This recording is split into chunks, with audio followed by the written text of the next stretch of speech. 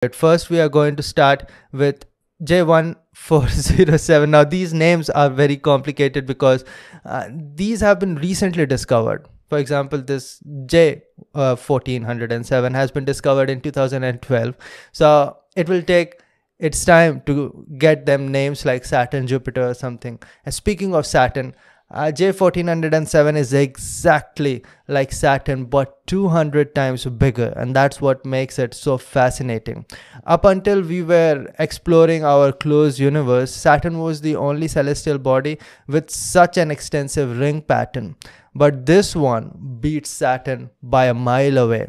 For example, if you place this, uh, so how it goes is that J1407 is the sun or, or in a better way, a star which is very similar to our star around which our planet is revolving, that is Sun. Now, J1407 is a star which is very Sun-like. It is 90% the mass of our Sun, and around that is a planet which is revolving, and that is J1407b. So that is how generally it goes.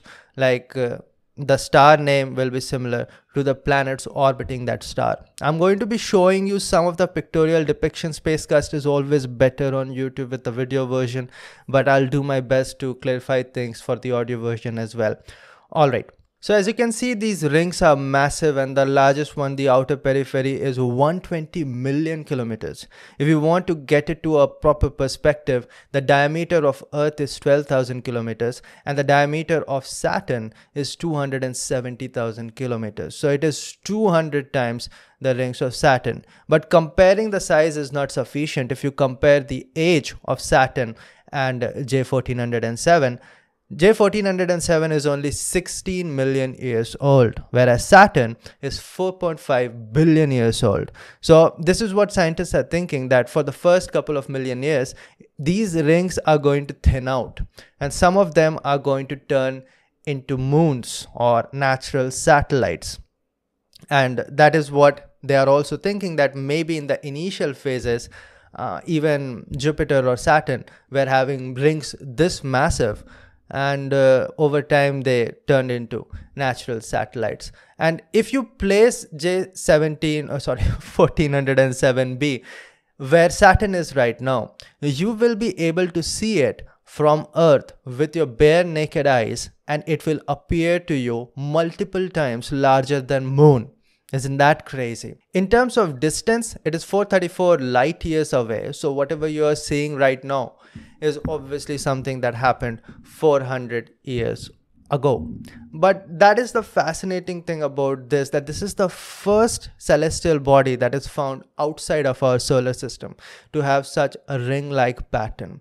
And the star that it is revolving around is not that bright. Matter of fact, most of the time it eclipses that star when it is somewhere in the middle of your position and the position of that star that is J1407. So if you look at a line of sight in which you are at one end and that star is at the other end. And this planet J1407b is in the middle. It will eclipse almost 90% of the light coming from that star.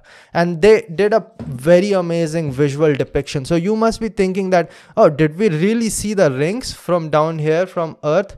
By the way this was first discovered by an astronomer in Rochester University. I'm going to discuss more about that. An article which is exactly the same is published both in the website of University of Rochester and the NASA exoplanet website just in a moment i'm going to discuss that. But first going to the rochester university you can see over here they have made a video of how they found out that these are actually rings. Because from here it won't even appear like a disk it will be something that will be blocking light. But how do you really understand that these are rings and there are gaps in between these disks so if you look at this video over here you can see that star j1407 when is covered or eclipsed by these rings, the lights are higher at some positions and then it goes down back. So there are thicker rings, there are thinner rings, and then there are spaces or voids in between the rings. And that is how you really understand that this is not a disk blocking it it's a planet and around that there are rings of uh, basically space debris and it is massive and also it is a gas giant at the center of it all right let's let's get into this article that they published over astronomer eric mamajek at university of rochester and his co-author from Leiden Observatory, the Netherlands, have discovered a ring system that they see eclipse a very young sun-like star, that is J1407, is of enormous proportions, much larger and heavier than the ring system of Saturn. The ring system, the first of its kind, to be found outside the solar system was discovered in 2012 by a team of Rochester's Eric Mamajek. A new analysis shows that it consists of over 30 rings with tens of millions of kilometer in diameter. Like I said, uh, the largest one is close to 120 million kilometers. Now, if you also want to put that in perspective, I think the distance in between sun and earth is somewhere close to 140 million kilometers. So let me just confirm that.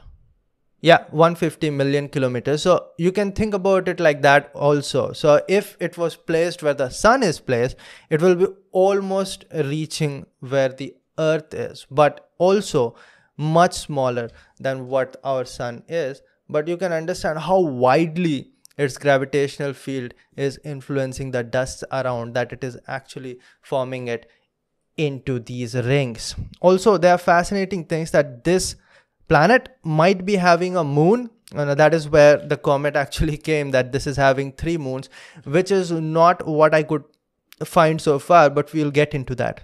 Alright, so this is what I was saying about rings becoming thinner and thinner over time. Astronomers expect that the rings will become thinner in the next several million years and eventually disappear as satellites form from the material of the disk. The planetary science community has theorized for decades that the planets like Jupiter's and Saturn, Jupiter and Saturn would have had at early stages disks around that them led to the formation of satellites. Okay that that we understand that earlier we are expecting that even planets which we do not see today having rings might be having at that time rings which over time turned into the satellites. Astronomers estimate that ringed companion j1407b has an orbital period of roughly a decade in length. My god 10 years of revolution the mass of it has to be because it is so huge. Like i said the distance between the sun and close to that what we have earth as.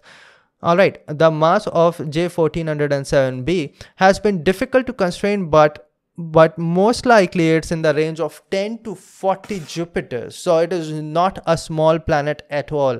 And it is like larger than Jupiter, so definitely larger than Earth. I tried to find out some graphical relation to it, but this is a very early discovery and people did not do a lot of work in this domain. If you have more findings related to J1407, let me know down in the comment section.